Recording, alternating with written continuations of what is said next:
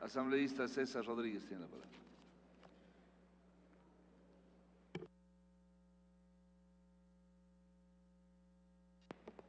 Gracias, señor presidente. Ciudadanas y ciudadanos asambleístas. Al felicitar a la comisión por el trabajo que han hecho en un tema tan complejo y tan difícil, quiero expresar en mi concepto este es un informe contradictorio. Porque este informe, por un lado, nos habla de que la Comisión se proclama seguidora de una línea garantista de derechos y por otro lado, en el texto de las reformas más importantes, propone la aplicación de un derecho penal y procesal penal punitivista y limitativo de derechos y garantías. Por un lado, la Comisión no acoge propuestas de reformas al Código Penal que tipifican delitos o modifican los existentes ante conductas graves y hechos lesivos a los bienes jurídicos y valores sociales, pero por otro lado acoge la propuesta mediante la cual se pretende reprimir con reclusión de tres a seis años la infracción de ocultar, guardar, custodiar, transportar o vender bienes de procedencia ilícita. Me parece que en este informe es extraño, y yo diría hasta peligroso, que la Comisión afirme que las leyes penales no protegen bienes jurídicos, lo cual contradice la línea garantista de derechos que invoca la Comisión en su informe. Quien sugiere que las normas penales no protegen bienes jurídicos sino a las leyes es el profesor alemán Gunther Jacobs, el principal ideólogo del derecho penal del enemigo. Esta tesis es totalmente opuesta doctrinariamente a la del derecho penal garantista.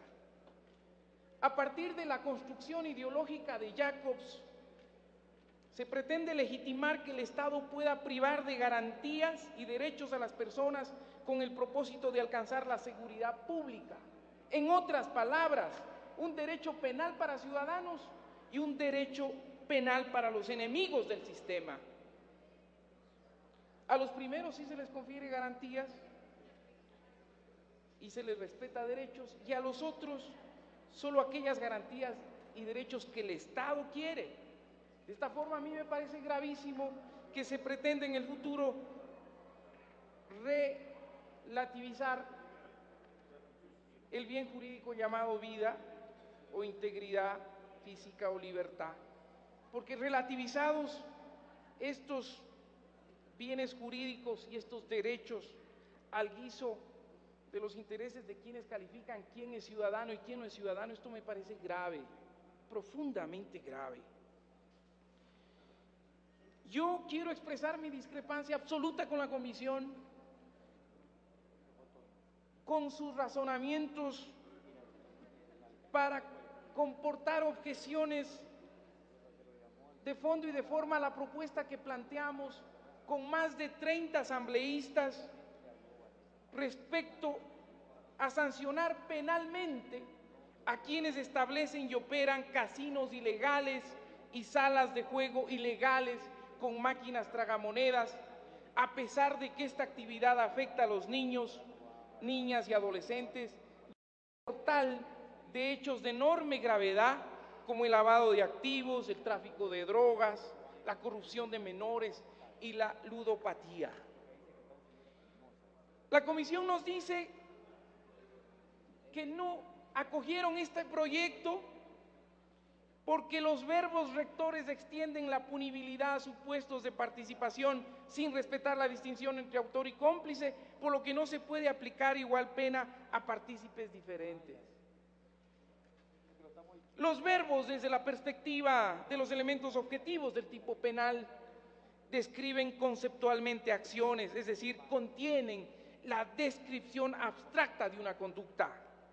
Las conductas penalmente punibles por el desarrollo de las relaciones sociales son cada vez más complejas, por lo que no es suficiente en muchos casos como en este un solo verbo para describir la acción punible y todas sus posibilidades de ejecución.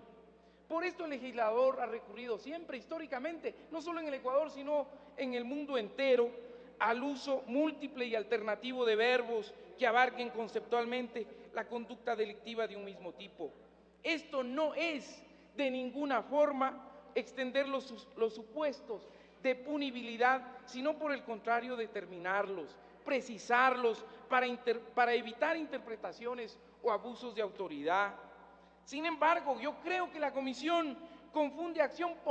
punible con partícipe, es decir, confunde el verbo con el sujeto cuando afirma que al autor y al cómplice no se les puede aplicar la misma pena. La calidad de partícipe, autor, cómplice y encubridor se establece en la ley. La pena aplicable o modificable a cada partícipe también, pero esto pertenece a la parte general del Código Penal y no a cada tipo en particular si se siguiera el razonamiento de la comisión en este aspecto, cada uno de los delitos, cada uno de los tipos debería decir cuál es la pena aplicable al autor, al cómplice y al encubridor, y eso no es así. Que hay ambigüedad ontológica entre ilícito e ilegal, nos dice la comisión. Lo ilícito es lo no permitido por la ley, lo cual para el destinatario de la norma no es difícil de entender en ningún contexto y yo creo que menos en el ontológico.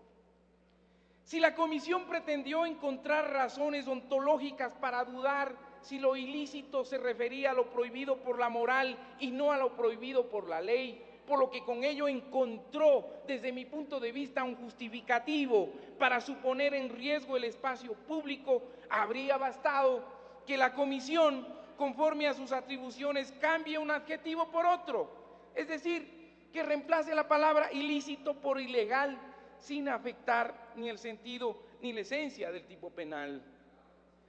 Nos dicen que se aumenta desproporcionadamente la pena de meses a años y que la iniciativa tiene naturaleza de carácter administrativa y no penal. Habría que cuestionarse cuál es el sentido de proporción que tiene la comisión, pues coincidencialmente la, la propuesta que nosotros hicimos en la reforma del artículo 313, que afecta gravemente a los niños, niñas y adolescentes, es la misma que la Comisión sugiere para el delito de guardar o vender artículos robados. La clave de la proporcionalidad en materia penal es la gravedad de la falta, de la conducta, de la lesión o de la amenaza, por lo que tratándose de la protección de los menores de edad y de los sectores más vulnerables de la sociedad, yo discrepo totalmente con los comisionados en cuanto hablan de desproporción. Por el contrario, a mi criterio, desproporción es seis años de reclusión a quien guarda bienes robados y al mismo tiempo proponer penas que en este escenario en el que estamos debatiendo hoy contradicen posiciones. Yo creo que impedir que el Ecuador se convierta en un gran casino o sala de juegos ilegales es una tarea compartida por varias instituciones, pero es absolutamente falso que se trate de un conflicto únicamente administrativo. Cuando las implicaciones de la contaminación sufrida con esta actividad han llegado a distintos niveles demostrando con ello su capacidad de acción y reacción, así como su peligrosidad. En cuanto a la tarea legislativa sin duda, amplia de esta comisión, yo creo que tienen que valorar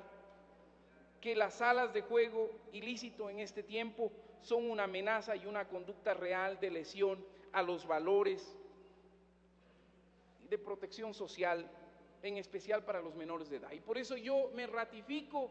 y vuelvo a insistir en que la comisión acoja esta propuesta y quiero terminar, señor presidente, estableciendo la necesidad de que la comisión revise el artículo 14 del proyecto, porque a mi entender es absolutamente inconstitucional y regresivo, porque creo que no es correcto que se pretenda en este artículo darle la capacidad de apelar al fiscal o al acusador el auto de sobreseimiento, pero al ciudadano se le prive de su derecho a apelar del auto de llamamiento a juicio. Eso me parece que la comisión debe revisar para evitar que en este proceso, en vez de avanzar, retrocedamos. Muchas gracias, señor presidente.